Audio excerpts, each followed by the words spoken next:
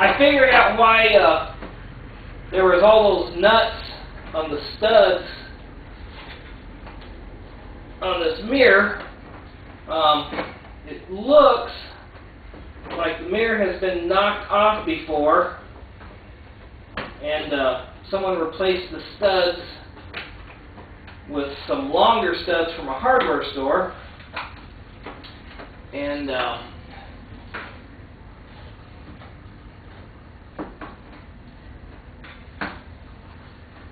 the uh, they used a, a bunch of oversized nuts to take up the space. But hopefully you won't have that problem. Hopefully your car will still be stock.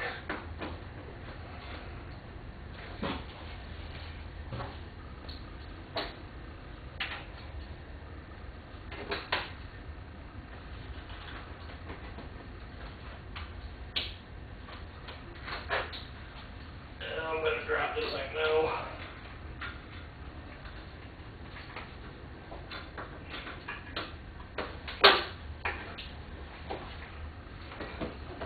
I'm trying not to get in the way, I'm sorry.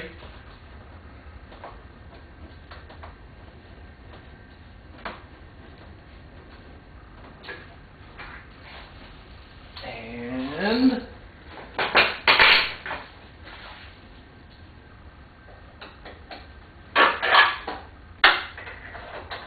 So normally I would be putting a, a nut on a stud. The stud's supposed to stay in the mirror housing, and uh,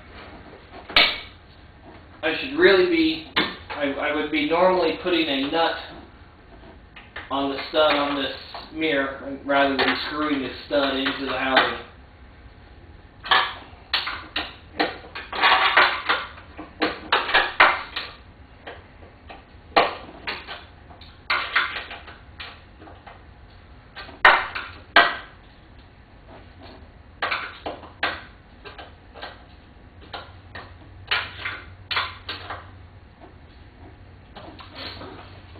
Okay, um, that's it. We've replaced the dew wipe. Put, uh, we'll put these back on with, uh, I'll go ahead and do that. Let me grab my pick set.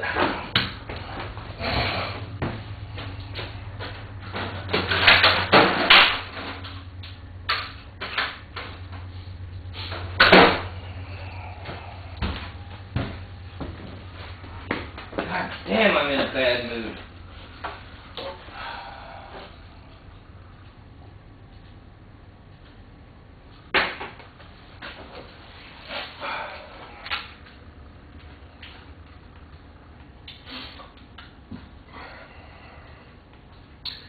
If you don't have a pick set, you can probably you can you can do this with screwdrivers. I just it's easier for me if I use a L-shaped pick.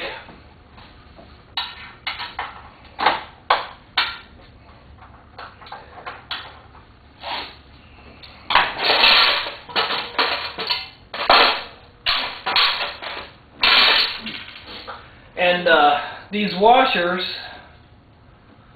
uh, have teeth on them, and they kind of cut scratch marks in the door on the sheet metal, so you'll be able to know pretty much where to set because these uh, these guide pads are uh, adjustable, and uh, you'll know from where the washers put scratches.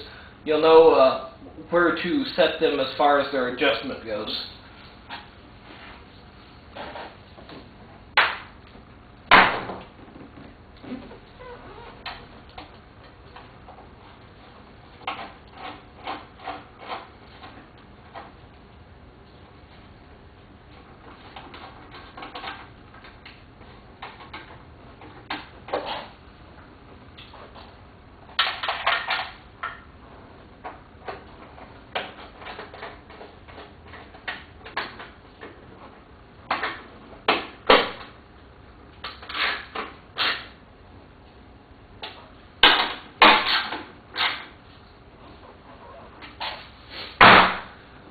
Alrighty.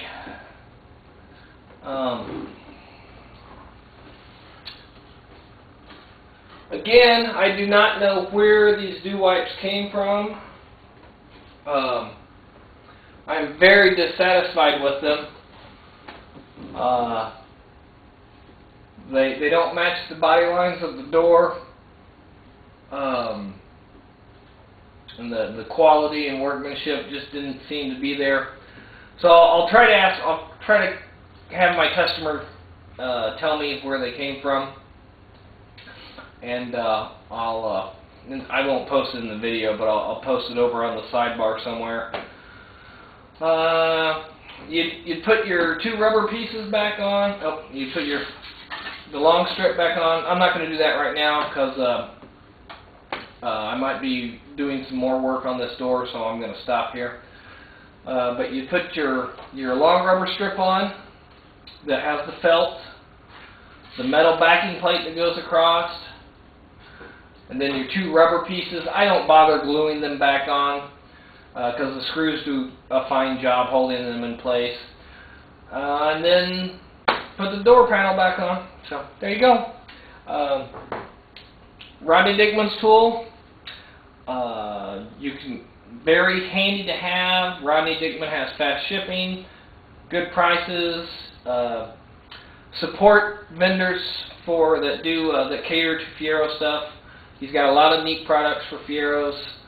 Uh, I'll, I'll put a I'll try to put a link uh, to his website over on the sidebar also. Sometimes YouTube doesn't let you um, post other websites. Uh, so if if I can't put a, a link to his website directly, do a search for Rodney Dickman, and uh, or the, probably the words Rodney Dickman and Fiero will probably get you to his website. And that's it. Thanks for watching, guys.